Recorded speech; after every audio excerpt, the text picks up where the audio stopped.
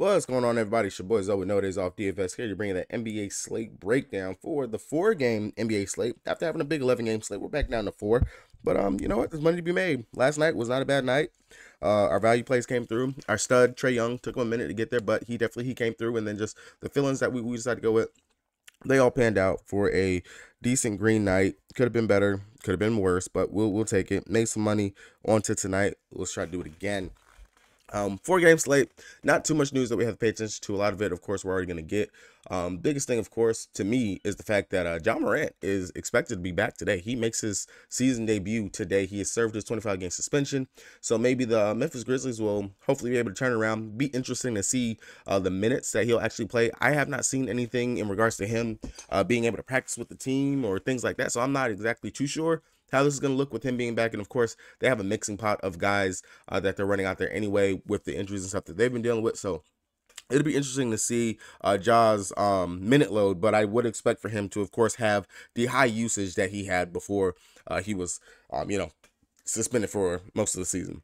Um, over here for the Pelicans, Biggest thing is that Naji Marsh being just a game time decision. That's that's the only one to pay attention to. Other than that, not too worried. Uh, for the Spurs, sadly, we will have no Wemby going up against Giannis. We will not get to see that matchup uh, today. And of course, this game has blowout written all over it. Um, uh, one of those things that I try not to do is predict blowouts, but uh, when it comes down to a team that is is uh, such as the Spurs going up against an actual uh, super team, and well, not, I'm not gonna say super team, but a team that has much better talent on it uh, in Milwaukee Bucks.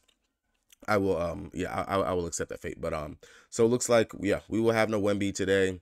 Um that really does suck. So interesting to see how this game goes for Milwaukee. Definitely think we might be targeting some of the bench pieces and things like that. I do have some interest in uh, a couple of the bench rotation players over the studs in this game.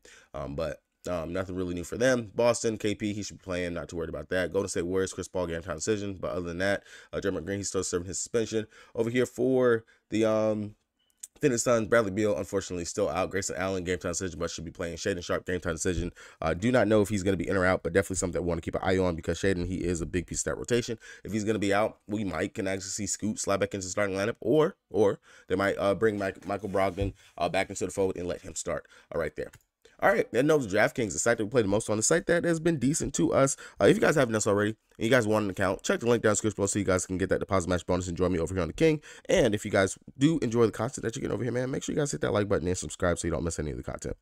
All right, so starting out, um, kind of gonna do like what I did yesterday in regards to studs, uh, who who I think that we should be paying up for, who I, I feel like we should be going to. Uh, just looking at it, the Vegas totals over here and just the spreads. We have a seven and a half point spread, a 16 and a half point spread, 5.5 spread, and then a seven and a half point spread here um, for the uh, for the uh, Phoenix Suns game.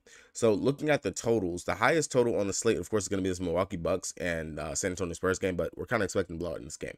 And then over here at the Memphis game, it's a 232.5, but uh, the Pelicans one of the top 10 defenses. Like they are really good on defense.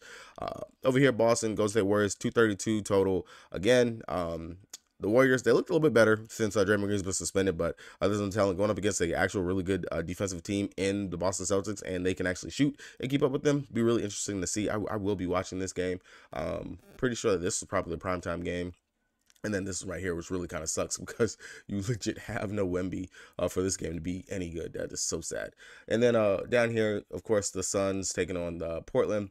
Um, out of all of them, really for me top guy that i'm looking at and he's he's been playing very well uh, since coming back from his injury and the time that he missed and everything and i really really do like the upside for him here it's gonna be my boy anthony simons we've seen opposing point guards going up against the Phoenix Suns, and they've been having some pretty decent games. Tyus Jones, Tyus Jones on the Washington Wizards just popped off for 60.5 fantasy points.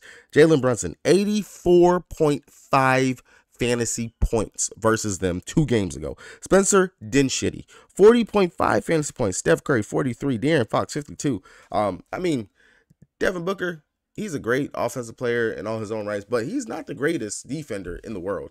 And uh, Anthony Simons, go out there. He can light it up with the best one. We know he's going to chuck those threes if he's making them. And look at this. He dropped 38.25 fantasy points this last game going up against the Warriors. And that was without hitting any of his threes. So he still got it done in all the other ways. We know he's going to facilitate because, like I said, he is playing that point role. They got Brogdon coming off the bench. Uh, they got him being the mentor out there. Anthony Simons sitting at 7 5 And you guys already know studs to me are 7K and above. So this is a, a mid-tier stud right here, sitting at that 7.5 price tag. I really do like the upside that he will bring. Um, just just the price point period. I love it. Uh, definitely a really good spot um, to go to right there on the slate. Now, uh, if we want to come down and look at something else on the other side in regards to uh, possible studs, uh, just looking at it, I don't mind, and uh, I'm, I'm I'm still gonna stay down here in some value. Um, CJ McCollum, he's been playing pretty well over these last couple of games, dropping at least 30 plus fantasy points in four of his last five games.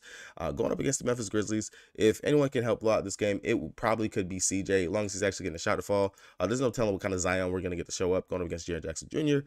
Um, he's been facilitating, he's been scoring, he's been looking looking very good from the three point line over his last four games. Really do like um, CJ McCollum as another possible play that we can go to.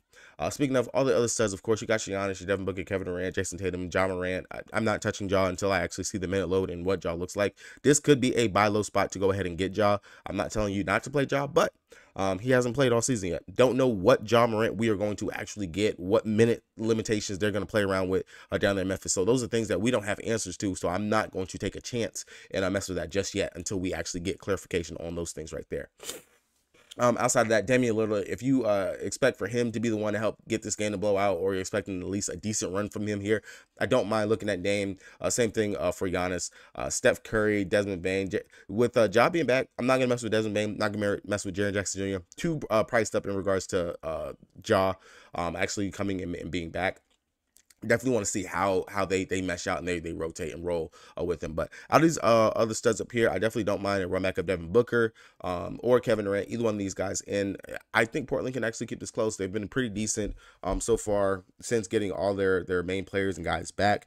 Um, so I really don't mind the run of Devin Booker or Kevin Durant. They really do great as decent plays on the slate. Uh, really, I'm gonna end up staying away from Giannis and Dame. I just I don't see them really being needed in this game. I understand they could be the main catapult in regards to why this game blows out, but it's just I don't, I don't see it in the cards. And then Steph Curry going up against that um, Derrick White and Jrue Holiday defense. I'm not gonna mess with that uh, for Steph Curry. So um, really, that just leaves Devin Booker, Kevin Durant, Jayson Tatum.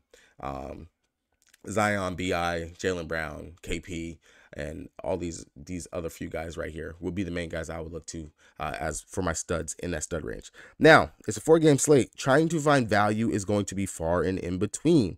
Um, I did mention that possible value that we can go to is going to be some of those guys from the uh, the game that possibly could actually blow out if Milwaukee comes to play.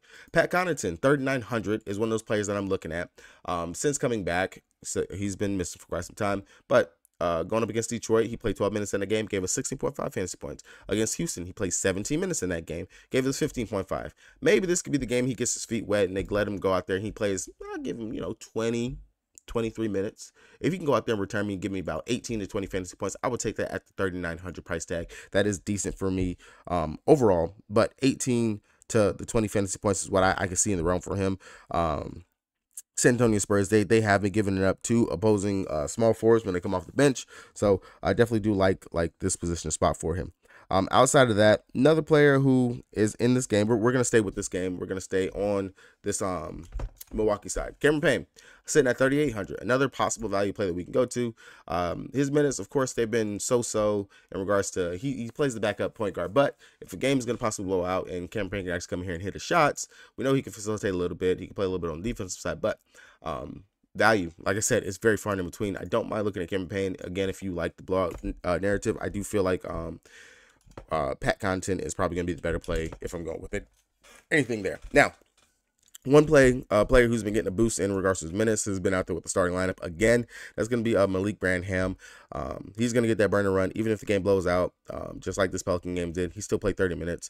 Uh, same thing here. I don't mind going to Branham uh, with no Wemby being there. We know the usage is going to be spread around throughout this team. Um, Branham, I believe that they're trying him at the point guard position now um, since they're done with the Sochan experiment. Yeah, Branham looks like they got him slotted as the possible uh, starting point guard. So I don't mind looking to him as another value play that we can go to since he is in that 5K range as a possible play that we can look to. Uh, outside of that, again, unless we get some crazy injury news or something to pop up, the value on today's slate is very, very, very, very far in between. Um, so this might be one of those balance type bills. I don't see it being a stars and scrub uh, type slate or games uh, for us today. So uh, with that being said, if we're going to be looking more towards that possible mid tier range as possible plays that we can go to. Um, definitely Grayson Allen grades out, long as he plays, going up against Portland. Um, I know he's not the most prettiest name to click, but when he's out there, he's producing. And of course, no Bradley Beal. We know that he's going to have to score. He plays very well on defensive side, going up against a young Portland team. He can definitely rack up those steals and blocks as well. He can rebound, get a couple of assists, but the main thing is his scoring. Long as he's out there and he's able to knock down his three point shot, he definitely will go ahead and produce. As you can see, 34, 23, and 28 fantasy points. Don't hate that. Don't mind that for Grayson Allen. A really great spot for him um, as well. Derrick White has been playing phenomenal over his last couple games. Uh, 29, 47, 30, 40, uh, 36, 49 fantasy points going up against the fast paced Golden State Warriors.